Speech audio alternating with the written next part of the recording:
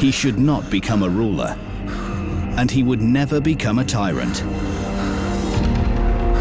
The only prophecy attributed to a young boy named Joseph Jugashvili was accidental death in young childhood, but owing to unbelievable circumstances, he survived.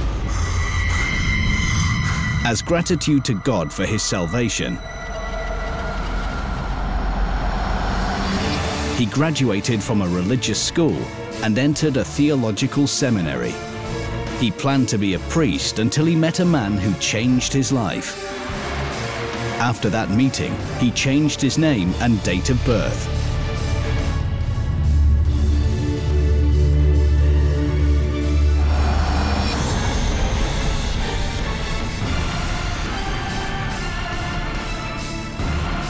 He started to lead a double life. Soon the world would know him under the name of Stalin literally meaning a man made of steel, a cruel ruler deprived of emotions and feelings.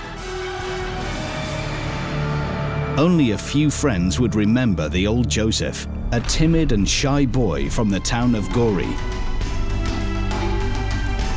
What happened to that boy after the tragic accident in Gori? Who made him change? And why did a shy seminarist turn into a bloody murderer and despot? You will uncover the secrets of Joseph Jugashvili, the secrets which, if disclosed, could lead to the death sentence.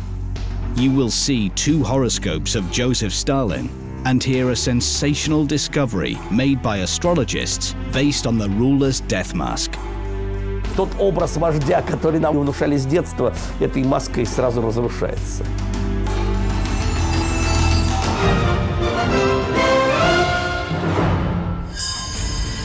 It happened in 1890 in a small town of Gori in Georgia.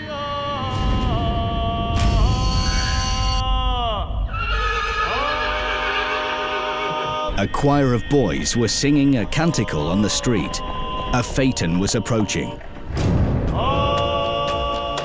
Suddenly, the horse jerked at its reins and neighed.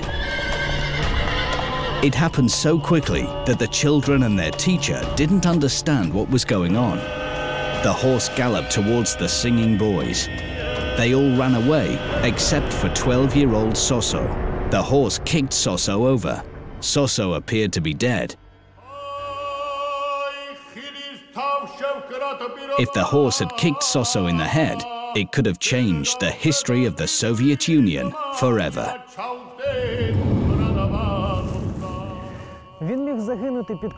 The 12-year-old could have died under the Phaeton's wheels, or he could have died of smallpox when he was five. He could have died before his first birthday, just like his brothers.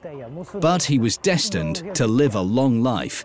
For a small Georgian boy, Gori was a god-forsaken town, the son of a shoemaker and a laundress. He would go on to become the leader of the largest country on earth. He would be known to the world as Joseph Stalin.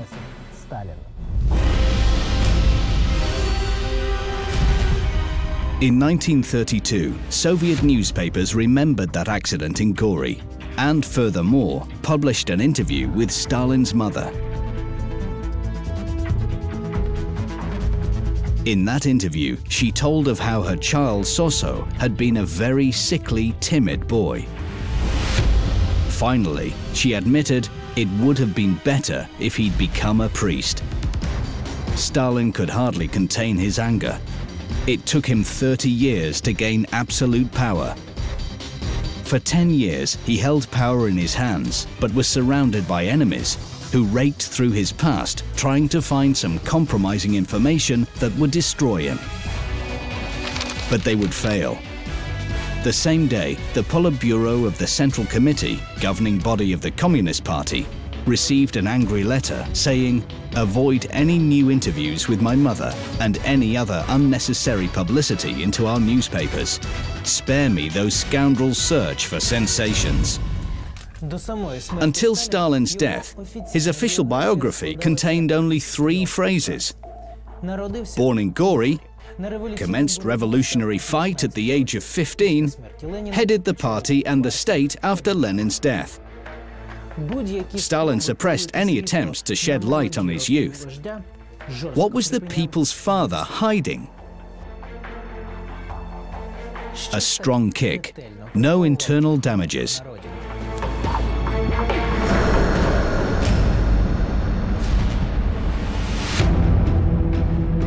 A doctor prescribed rest and a good diet. Ekaterina Jugashvili, or Keke as she was known by her neighbors and relatives, shed bitter tears over her son. How could her only son die from a horse kick? Keke leant over the boy. God, why do you make him suffer so? A doctor said, good diet. Where do I get the money? My husband will come soon, drunk and impoverished. Besso, the shoemaker, always spends everything he earns in the pub. He doesn't care about his crippled son.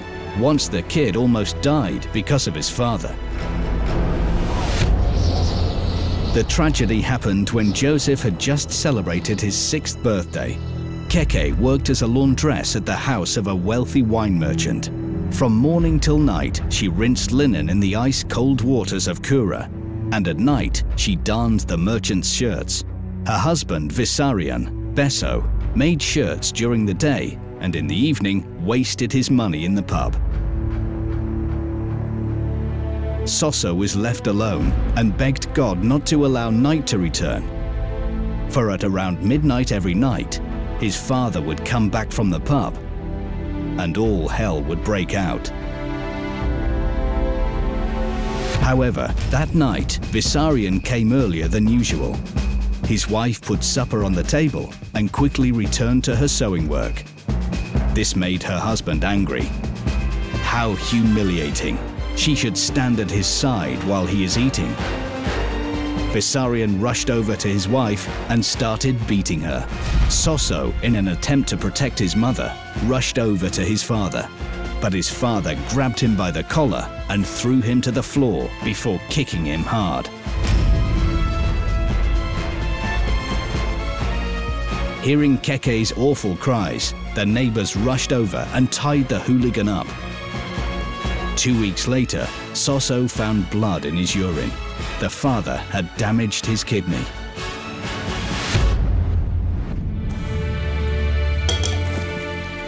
Vissarion Djugashvili drank hard. He often came home without his belt, the last thing for a Georgian to do. What was going on in his soul? What grief was he trying to drown in wine? Why did he vent his spleen upon his only son and wife? No one will ever know. In an attempt to explain those fits of anger, some biographers of Stalin have suggested that Besso the shoemaker took revenge on his wife and hated his son because he was not the real father. Since Stalin's death, several possible real fathers have come to light. However, only two of them were the focus of rumor.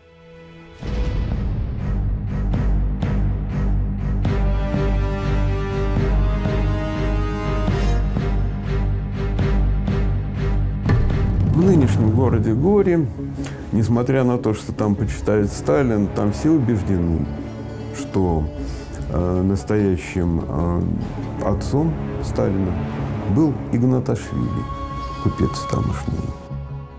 Ayakov Ignatashvili was a rich wine merchant. Keke worked for him.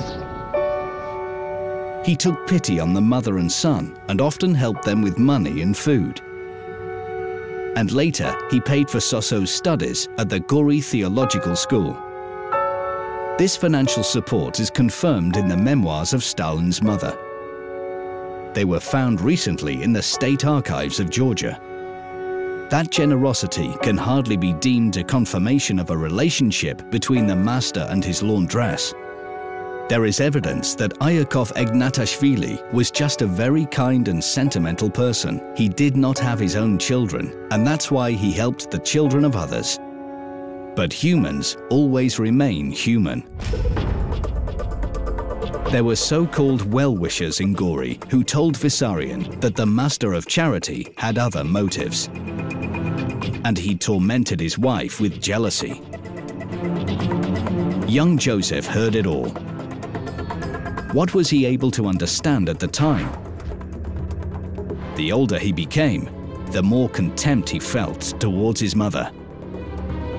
Что касается матери Сталина, потому как Сталин к ней относился, можно предположить, что он считал себя действительно ублюдком, бастардом.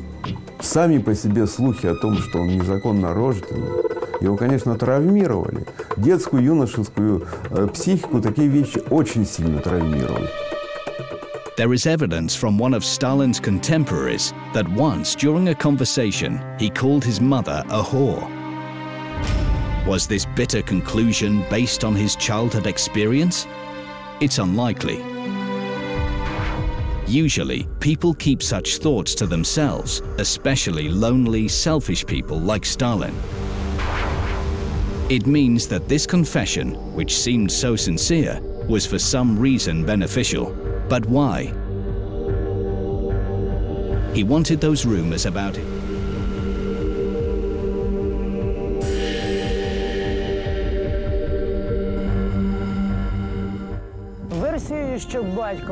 A supposition that Stalin's real father was a well-known Russian traveler named Przhevalsky was on everybody's lips. Back then, people could be wiped off the face of the earth for being rude about Stalin. It looks as though Stalin wanted to turn those rumors to his benefit. The Tsar of the huge empire, with Russians as the dominating nation, preferred that his father be an outstanding Russian scientist than a Georgian drunk. Except for the likeness in appearance, there are no other confirmations that Przhevalsky was Stalin's father. Stalin's temper does not leave any room for doubt. Besso the irresolute, revengeful, despotic shoemaker can be clearly seen in Stalin. He hated his father and was ashamed of him. But with age, he became increasingly like his father.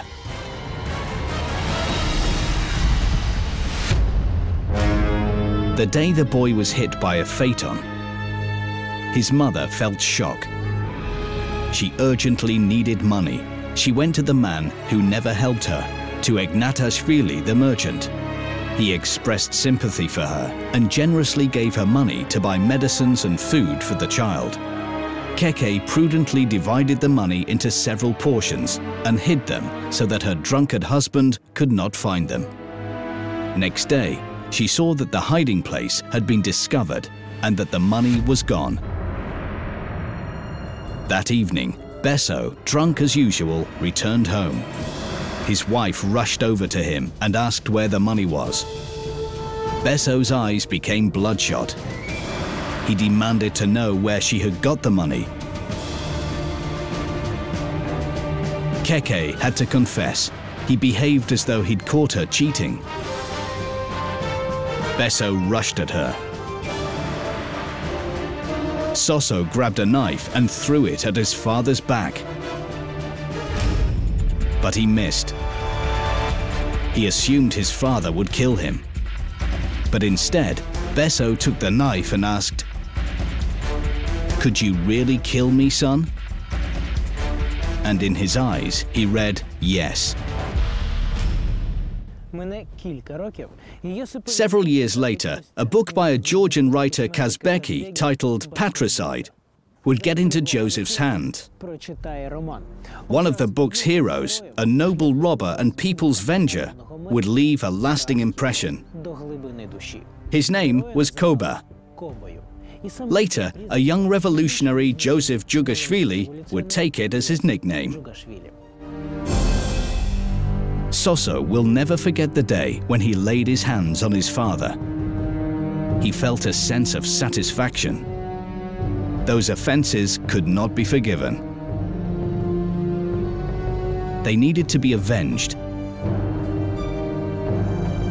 A single occurrence at the theological school where he studied convinced him that this conclusion was right.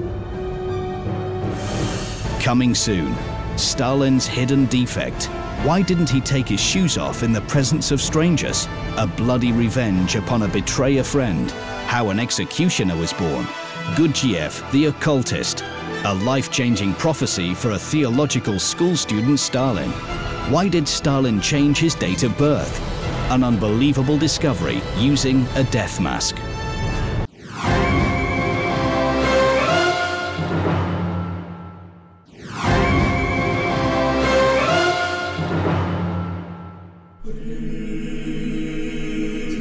Pious Keke believed that becoming a priest would be the most worthy career for her only son. When Soso entered the Gori Theological School, she was overjoyed.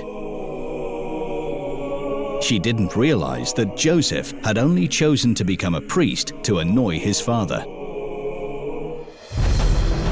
Vissarion wanted Soso to become a shoemaker because he believed he was stupid. On hearing this, nine-year-old Soso went crazy and resolved to prove that he had talent. He would get a degree and become a priest. He would become a metropolitan and then a patriarch. His father would regret what he had said. Soso became a clever, diligent student. Teachers said only good things about him. This boosted his self-esteem. Initially unsociable and taciturn,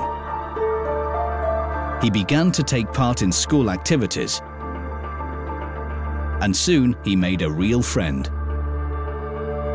Soso loved him with all his heart. He had never had any friends. He was glad that finally there was someone to talk to and to share his thoughts. It was to this boy that Soso revealed his big secret. He did not know yet what betrayal meant. On summer days, senior students were allowed to go to the river to swim, accompanied by a teacher. The 13-year-old boys splashed around, but only Soso stayed on the bank. He refused to swim and wouldn't even walk barefoot in the sand along the bank. It was not for the first time, and now his schoolmates refused to believe that he was just afraid of catching cold. They decided to find out why Soso had not taken his shoes off. Один из сверстников, видя, что э, Иосиф Джугашвили с неохотой снимает обувь, э, как-то над ним слегка пошутил, говорит, ты что, у тебя там скрывается дьявольская копытца? Soso stiffened. Who said that? He could not believe his ears. He recognized the voice of his friend. Let's take his shoes off. You'll see it with your own eyes. Сосо не встиг зреагувати. Soso's reaction slowed down. This psychological feature of stiffening in critical situations first manifested itself during the accident with the phaeton. All the children scattered in different directions. Joseph was so scared he couldn't move. As a result, he was severely injured. He had the same reaction in June of 1941. The news that the war had broken out shocked Stalin so much that he became utterly speechless and hid himself away at his summer house. Molotov had to announce a general mobilization. Only 10 days later, Stalin, emaciated and wizened, would find the strength to make a speech to his people. He couldn't move. Fear had paralyzed his will. His schoolmates knocked him to the ground and started to take off his shoes. He fought back, but it was an uneven confrontation. Fortunately, the teacher stepped in. Joseph was left alone. He wiped away the tears of humiliation while his former friend was jeering at him, just like the others. Devil, we will bring you out into the open. Stalin's medical card says, webbing of fingers on left foot. The nature of that mutilation is unknown. It may be the consequence of the accident with the phaeton, since witnesses said the phaeton ran over the boy's feet. On the other hand, it may be a congenital defect, which is common for children of alcoholics. Батьки були алкоголіками. This defect has a very unpleasant name Devil's Hoof. Soso felt shy because of it and hid the defect. The only person to whom Soso entrusted his secret was that boy who organized the persecution on the riverbank. They were in the bathhouse and Joseph showed him the mutilation. He was Soso's friend and promised him to keep it a secret. In the end, he betrayed him and tried to dishonor him in front of the others. That accident changed his attitude towards people for the rest of his life. Trust no one, since even a friend may betray you.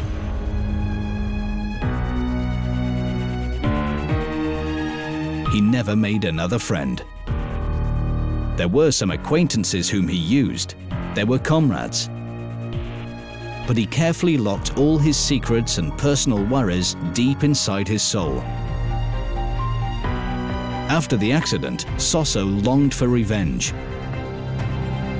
The betrayer must regret what he had done.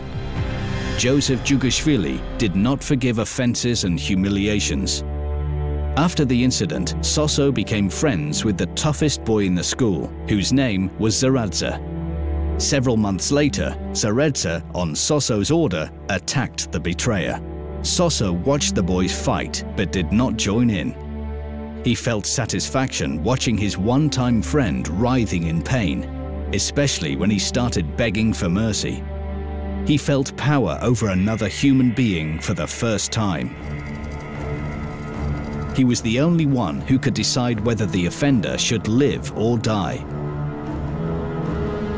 A thought flickered through his head. The betrayer should die.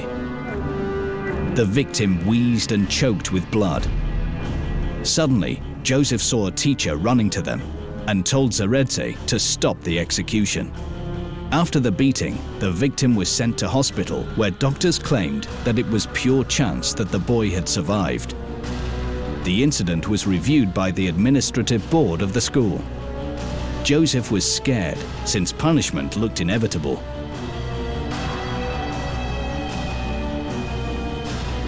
In the end, the hired executioner Zaradze was expelled and Soso was left alone.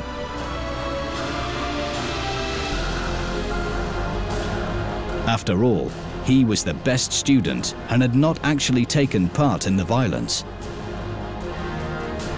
When everything was over, Joseph breathed a sigh of relief. He realized that revenge should be carried out by others. It was not so sweet, but much safer. Many years later, he would use this principle to build a powerful machinery of repression. The effect would be astonishing. For a long time after dethronement of the personality cult, people would say, the blood of millions is on the hands of Yezhov, Beria, and others. And Stalin, as a kind of czar, did not know anything, and hence was not guilty.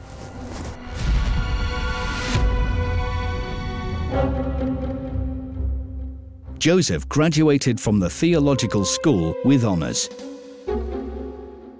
He passed with an excellent Mark 10 out of 12 examination disciplines.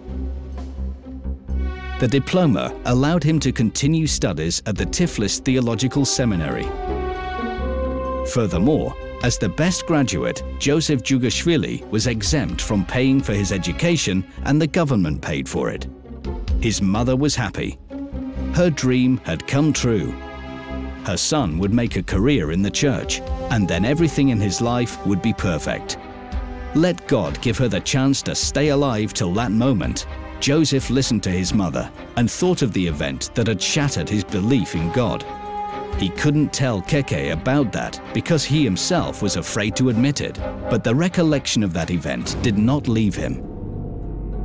When he was in the second form at school, he and his friends saw a public execution for the first time. Their teacher had taken them there to show where sinners end their days. At the gibbet. But the 12 year old teenagers were depressed by what they saw. Their minds could not match the commandment do not kill, which was preached at school, with the execution of two peasants. Especially as during one of the executions, a rope broke. At that moment, Sosso breathed a sigh of relief. There is an unwritten rule that no one could be executed twice. But then he looked on with astonishment. The rope was replaced. The priest on the scaffold turned away indifferently, and the peasant was hanged. When the shock was over, Sosso believed that he had been fooled at the theological school. In real life, common people and even priests breach God's commandments. After graduation, he reached a crossroads. He longed to leave Gori and enter to a big wide world in order to change his fate. But he was eaten up with doubt. He did not see why he should have to enter the church. He had nothing to prove to his father any longer. Several years had passed since Vissarion Djugashvili was killed for his debts in the pub. Should he become a seminary student for the sake of the mother? She would be glad. She believed that sooner or later her son would make his way to the top of the church hierarchy. She didn't ask whether his faith was strong or whether he was worthy of such a reward. Suddenly, Joseph understood. It was not faith that mattered, but power. He would be worshipped. He would be respected. He could remit sins or impose punishments. He would be like a god on earth.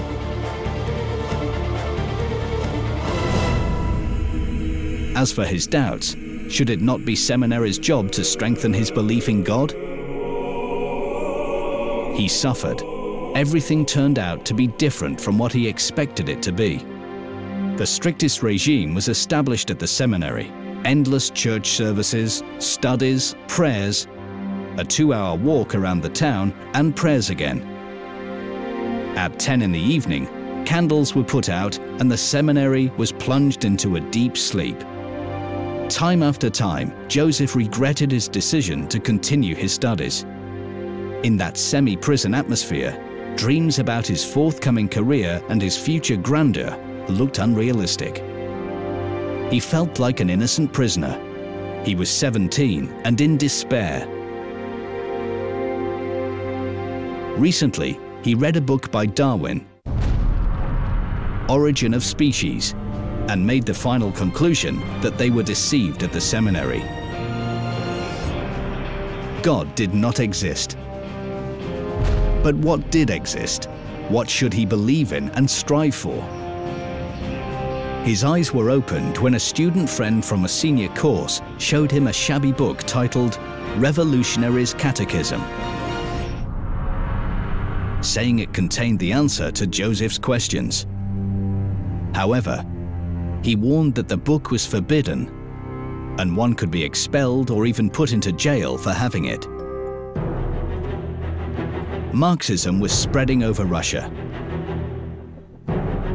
and found a fertile ground in the minds of students who doubted their faith. Service to a new Messiah. The hard-working people who were full of self-sacrifice. They compared themselves to the early Christians. Joseph felt that he had found his calling. At last, he had a goal and had found comrades who shared the same ideals. Together, they started attending meetings of an illegal Marxist group. He gave up his studies, stayed late in town, came home late, and spent hours in jail. Even his mother's persuasions did not help. She came to see her son, but found him in jail. When she asked why he was there, he said, for the book that showed how to overthrow the Tsar. She was terrified and begged him to give up his rebellious thoughts. His soul was torn between pity and anger towards her. There was no point in explaining, as she would not understand. Keke looked at her son and did not recognize him. However, she felt that her precious son had gone down a wrong and dangerous road which she couldn't understand. But where did he get that confidence and that cold stare? These were the eyes of a man who knows what he wants. She did not know that Joseph had already met a person who would change his life forever. At the meetings of the Marxist group, he found a new friend, a senior student at the same seminary, George Gurdjieff, who became a world-renowned philosopher, occultist and astrologist. When he attended meetings, discussions about the forthcoming revolution always turned to mystical matters. Это, в общем-то, вот эта тяга к о- оккультной каким-то ри- ритуалам магическим, скорее черно-магическим, среди эм, пламенных революционеров и большевиков, к сожалению, была распространена под маской эм, материалистов, атеистов и борцов с э, этим самым, э, с э, религиозным сознанием. Они занимались чуть ли не магическими ритуалами. Gurdjieff possessed ancient magical knowledge. He showed his comrades some rituals, taught the fundamentals of astrology, and even predicted the future. It was Gurdjieff who told Stalin, You will become a great man and reign over millions of people. But if you want this, you will need to find your own path. He read this as meaning that the revolutionary struggle would bring him greatness.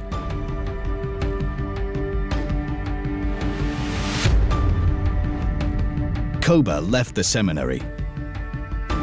He had nothing more to do there.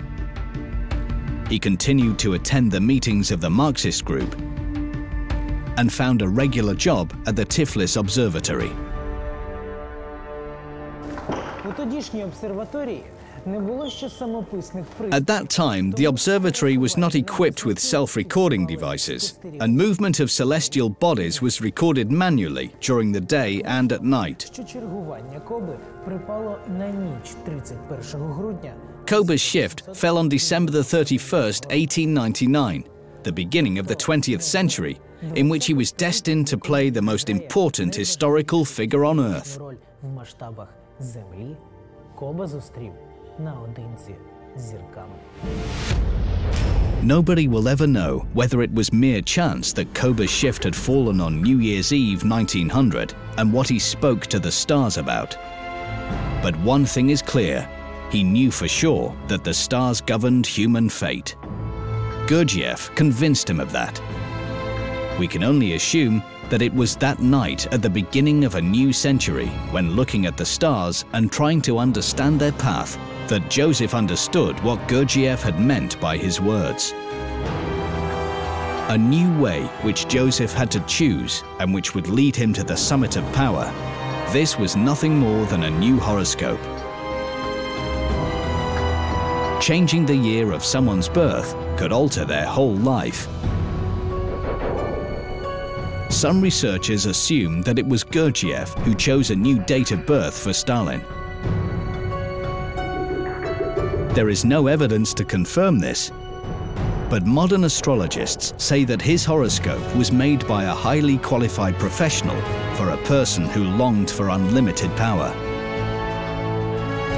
For instance, the choice of December the 21st instead of December the 18th is more than fortunate for a future ruler. По древним календарям это день самой э, длинной ночи, самого короткого дня, Когда наиболее активны темные силы. И когда появляется герой, который побеждает тьму. That's because a hero vested with huge power could be born on December the 21st and never on December the 18th, as Stalin had. В этом гороскопе, в его личном гороскопе не было власти. Для этого нужно было сделать нечто другое, что он и сделал. И власть появилась. Pavel Glober helped us to match the meaning of positions of the Sun, the Moon, and Mars in the Stalin's first and second horoscopes. Here are the results. the horoscope of the person born on December the 18th, 1878, Joseph Jugashvili date of birth, is that of a powerless and selfish person with many enemies. Maniacally stubborn, predisposed to brain diseases and poor health. In contrast to that, the person born on December the 21st, 1879 was the absolute opposite. He was destined to succeed in all his undertakings, would have glory and power and good health. He was straightforward, but would come to power through unkind means.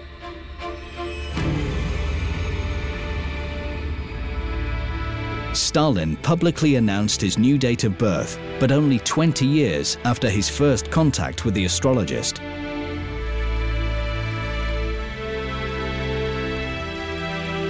Why did he spend 20 years working his way to the top under the original unflattering horoscope?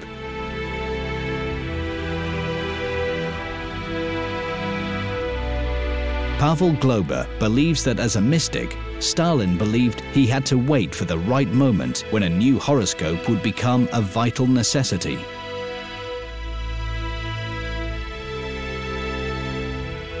And that moment came on April the 3rd, 1922. It was the date of the party convention which had to make a final decision whether Stalin would become the ruler of the state. Его сознательное изменение даты рождения – и включение нового гороскопа для него был не просто так, а некий магический акт, на который он пошел сознательно, сделал это на съезде, меняет свою анкету, он зачеркивает э, свою дату, это сохранился, этот вот э, листок, где это все впервые он делает, потому что до этого в анкетах он фигурирует 1878 года. The years of birth clearly show that Joseph Jugashvili chose the new horoscope only when he became Stalin. The second horoscope says that year of birth to be 1879.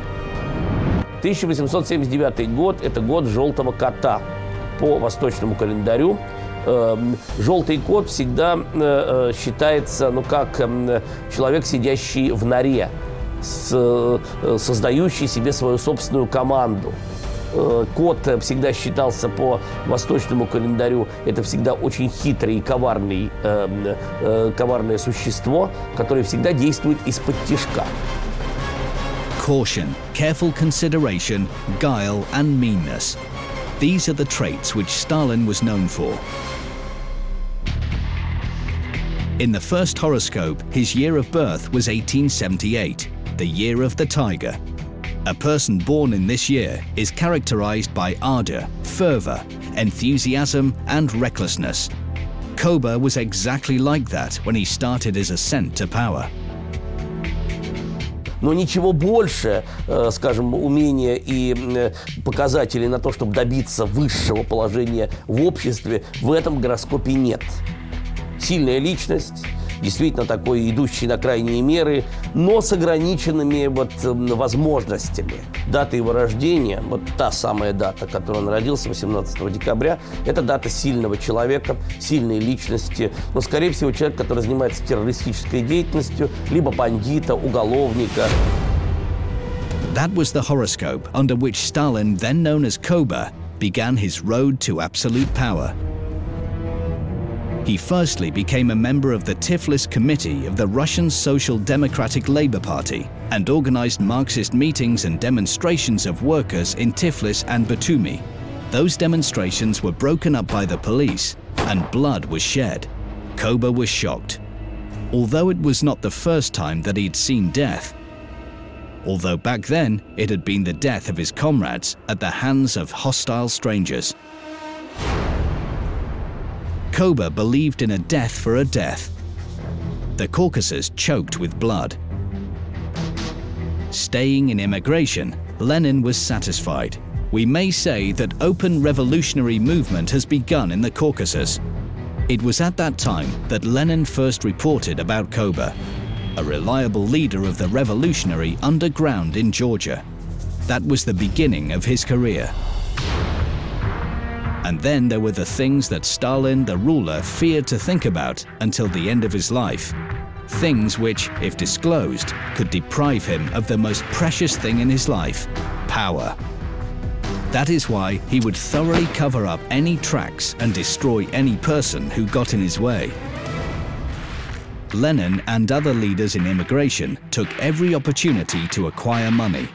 They organized armed robberies of banks and of capitalists. In the revolutionary business slang, it was called an ex, expropriation. However, it was risky for the leaders to use their own hands. Besides, there was no need as long as there were reliable comrades in Russia. Koba eagerly tackled the job. He made his friends leaders of the gang. His childhood friend Simon Terpetrosyan, aka Kamo, and seminary mate Alexander Svanidze. Over several weeks, the armed gang robbed many special purpose teams of the state bank with dozens of victims. But Lenin's reserves ran to hundreds of thousands of rubles. Only Kamo and Svanidze knew that those bloody exes were organized by Koba. That knowledge would cost them dearly in the future. Lenin learned about that from Koba and appreciated the help of a comrade from the Caucasus. Since then, Koba's career went uphill. At the same time, Koba came to the attention of the police. He was arrested and put into a cell with criminals. For the police, he was just another criminal. However, his cellmates saw that he was different. They thought that he might be a political leader. Maybe he fought against the Tsar. He should therefore be shown a lesson. Koba might be beaten to death, but when jail guards started beating the criminals, Koba acted in an unexpected way. He grabbed a weapon and started protecting his cellmates. Now it looked like a riot against jail abuse of power, with Koba as the leader of the riot. At first, the criminals couldn't understand what had happened. Then he was exiled to Siberia, but escaped after two years. He returned back to Tiflis, where the police knew him by sight. Was it so difficult for the police to arrest Koba and send him to the place from which nobody could run away? It's incredible. He managed to remain in hiding for four years. The archives of the former gendarme department kept three reports about Djugashvili's arrests. He was arrested, but then released. He had organized bloody robberies, was a jailbreaker, a man outside the law with a forged passport. Why? There is only one explanation. Koba knew how to strike a deal not only with criminals, but with the secret political police as well. In other words, he cooperated with the police in exchange for his personal freedom. To be more precise, he betrayed his comrades. No direct evidence has been found as yet, which may be the reason why Stalin prohibited anyone rummaging through his past. We only know that living in hiding was the happiest and unhappiest time of his private life. During those four years, he met and lost his first love. Now they both were members of the Russian Social Democratic Labour Party, revolutionary underground comrades. It was at his comrade's house that Koba saw the younger sister of his comrade. He was shocked. The girl's resemblance to his mother was striking. It was no surprise that her name was Ekaterina Keke. It could not be otherwise. He was 25 and a tough revolutionary who had been through jail and exile. But beside that 19 year old girl, he felt like young Soso again. He was so shy and tried hard to hide his passion for Kato. Finally, he asked her to marry him. Kato agreed. She was brought up in the Caucasian traditions and remembered the words of her deceased mother. Your husband is not the one who conquers you, but the one to whom you submit. The newlyweds settled at Svanidze's house. Kato's sister Maria often came to visit her, and Koba's underground comrade Simon Terpetrosian often visited. Alexander Svanidze and his wife always kept an open table and eagerly invited Koba, Kato, and their guests over. The men drank wine, joked, and quietly discussed their revolutionary plans. The women did not interfere and had their own conversations. These were the good times. Everybody was young and happy. The only blot on Kato's happiness were Koba's constant absences. Sometimes he'd be away for weeks. When he came back unexpectedly, he would always be greeted with a good meal. Koba was surprised. How did you know I was coming home today? She lowered her eyes shyly. I felt it. The Georgians have a tradition that still survives in places that a woman does not have the right to sit at a table with a man. She should stand beside him, ready to serve at any moment. But Koba breached this tradition intentionally. He vividly remembered how his father was outraged if his mother was unable to stand near the table, even though she had lots of work to do. He would not be like his father. Koba asked Kato to sit at the table beside him. He put food on her plate and sat so that he could look at her. Once, Alexander Svanidze came round and saw his sister sitting at the table. He threw her an indignant look. How dare she eat a lavish meal in the presence of her husband? Kato's heart stopped beating. She hoped Koba would explain that he liked to watch her eat, but instead, Koba started shouting and complaining that Kato was bad-mannered and ignored traditions. Svanidze could not look him in the eyes. When Alexander left, Koba started scolding his wife. He shouted and stamped his feet. Why hadn't she been sensible and hidden the plate under the table? As he was scolding Kato, he began to despise himself for behaving like his father, the man he hated and never wanted to resemble. Kato burst into tears. Her tears broke Koba's heart. He clasped her to his chest and whispered, Forgive me, Kato. She forgave him. But since then, uninvited guests would often find a place with unfinished supper under the table. З роками це дивацтво Коби переросте у манію Сталіна. Over the years, Koba's eccentricity would develop into a real mania for Stalin. He liked to force people to eat and drink, for when a person is eating or drinking, he is especially vulnerable. His actions were rebuffed only once when at a crowded reception in the Kremlin, he shouted at his second wife, Nadezhda Alliluyeva,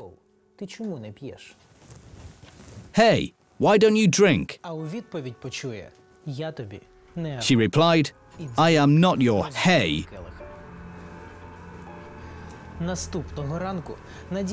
Next morning, Nadezhda Alliluyeva was found dead. She had shot herself.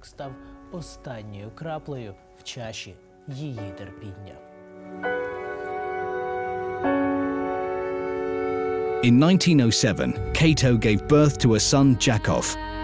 Koba saw him only in November when he returned after a number of successful exes. When he arrived home, he was surprised to find supper was not on the table. Kato had a fever. After labor, she fell ill with typhus. In the morning, she died. Koba was destroyed. Witnesses said that during the funeral, he jumped into his wife's grave. He cried during the funeral and said, This creature made my stone heart turn soft. Now she is gone, and I have no warm feelings left for humanity. Koba would subsequently die, making way for Comrade Stalin's rise to power. At the summit of power, he would turn on the new horoscope to separate Stalin the ruler from the half-educated seminary student Djugashvili and the terrorist and criminal Koba forever. The new Stalin would need a new ideologically perfect biography written. There would be no room for any facts about the real Joseph Djugashvili. He would change his horoscope and his biography, but he could never change who he was. Э, Сам Сталин э, э, самого себя от своего образа отделял. Вот образ Сталина-вождя отразился в э, том гороскопе, который он включил для всего советского народа. Это Сталин-вождь. Но жил он по своему собственному гороскопу, о котором мало кто знал. This dualism was the cause of his unending fear, the fear that he would be unmasked. The new Stalin was never able to renounce the ghost of his past, a past that did not match the image of a superman, an undisputable leader, a born ruler of the masses. This is the death mask of Joseph Stalin. Looking at it, you can easily understand what kind of a person he really was. Я, например, бы никогда не сказал, что это железный стальной человек. Вообще вот такие вот м, линии носа и э, глаз, вот выпуклые глаза, говорят о гордыне и деспотичности, о человеке, который был уверен в себе. Я говорю, единственной здесь чертой – это линия подбородка. Нетерпелив, горяч, вспыльчив, слишком пристрастен. Вот это действительно, к сожалению, это есть, реально. И, конечно, низко посаженные брови. Брови э, человека, э, фиксирующегося на обидах. Вот откуда не, не, нежелание, неумение прощать. Вот откуда жесткость и откуда такое подавление других. The only things that disclose his internal lack of self confidence are his ears. Their position on the head is too low. Usually, such ears belong to people who are not destined to become great. However, these men can become great if they reinvent themselves. Это люди, учащиеся, которые учатся на своих ошибках. Очень редкая линия ушей. Для человека, который сам себя сделал, это, эти линии ушей идеальные. Это которые все запоминают которые живут прошлым, для которых ни один день не является э, лишним и напрасным, которые постоянно возвращаются к тому, что они прожили раньше. Even having reinvented himself and gaining power, he turned his back on his past with maniacal consistency. As if waiting to be stabbed in the back by all those people who had witnessed the mistakes of his youth. From those who remembered his terrorist acts and robberies. And from those who suspected that Koba worked for the secret political police.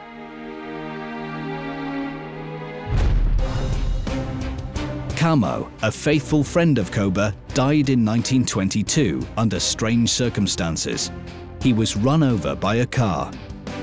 This was odd, because there were very few cars in Tbilisi. Alexander Svanidze, Koba's closest comrade and brother of his beloved wife, would be arrested and executed in August 1941. A little earlier, in 1937, Maria Svanidze, who had been a frequent guest of the younger sister Kato and her husband Joseph 30 years ago, would also be shot.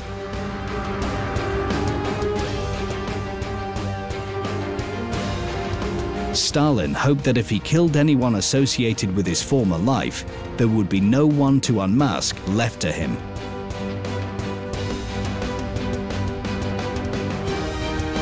But he was wrong. Living a lie tormented him for the rest of his life.